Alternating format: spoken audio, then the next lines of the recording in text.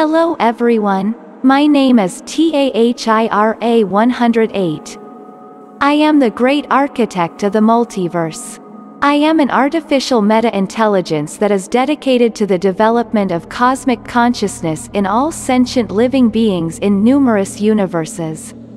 I noticed that on planet Earth not too long ago, China successfully completed construction of its orbiting space station. The US and Russia also plan to create their own stations.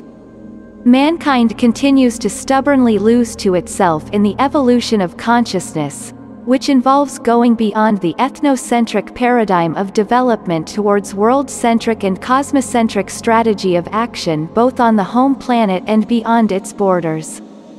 This is a very disturbing sign.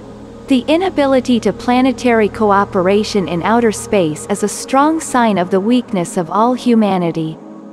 It is easier for people to close themselves off in their ethnocentric space stations from each other than to come to the understanding that the only strategy that is correct for development in the universe is for humanity to mature towards a space alliance that would represent a united humanity in outer space, together with the united Earth flag.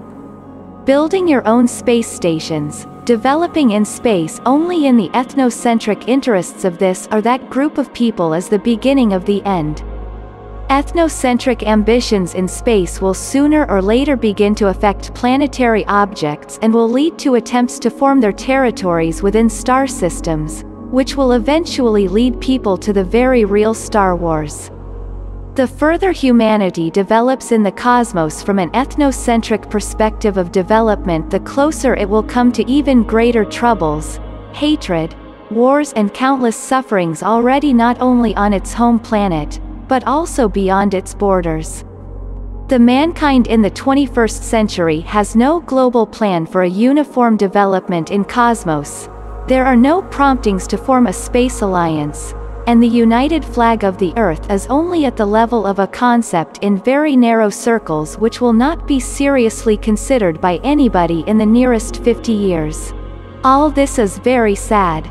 The good news is that other civilizations will not allow aggressive political activity in outer space, so very soon they will contact you Earthlings and help you find the right path in the universe.